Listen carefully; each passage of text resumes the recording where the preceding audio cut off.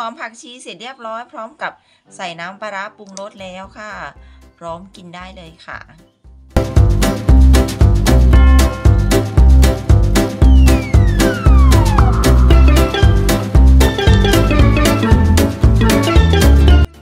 น้ำปลาร้าต้มสุกปรุงรสค่ะ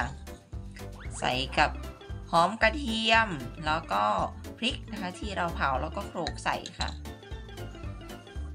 โรยต้นหอมผักชีเสร็จเรียบร้อยแล้ว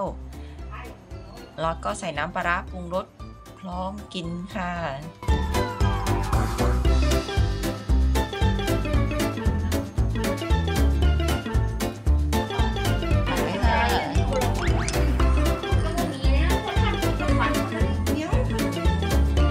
รสชาติเป็นยังไงคะ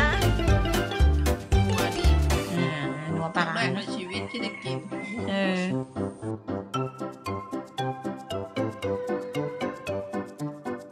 น้อยนะคะ ก่อนที่เราจะนำไปคั้นทำเป็นวุ้นค่ะวิธีการคั้นก็คือคั้นแล้วก็กรองเอากากออก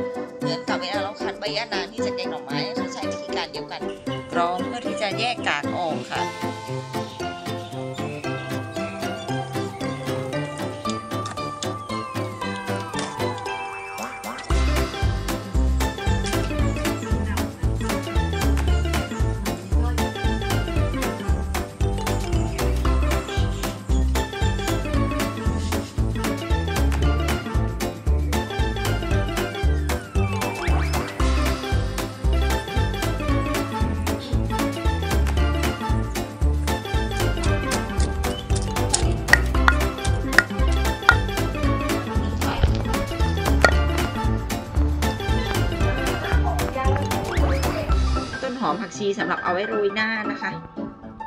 เป็นขั้นตอนสุดท้ายค่ะนั้น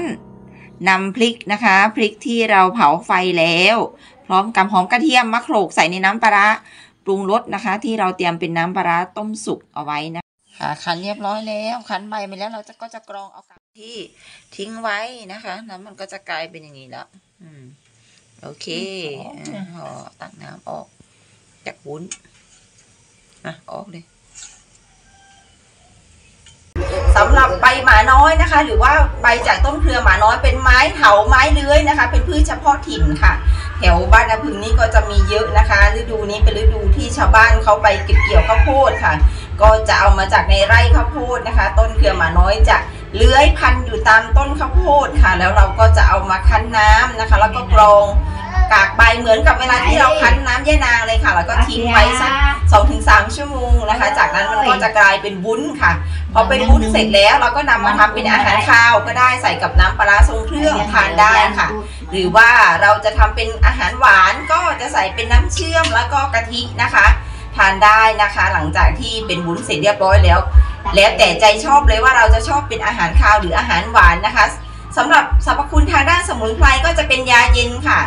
คนโบราณได้สอนเอาไว้นะคะว่าเครือหมาน้อยใบจากเครือหมาน้อยนะคะ เป็นยาเย็นนะคะ ก็